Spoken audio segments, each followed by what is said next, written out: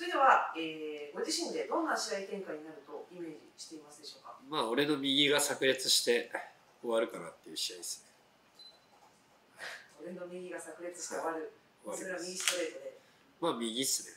右のパンチ。右の蹴り。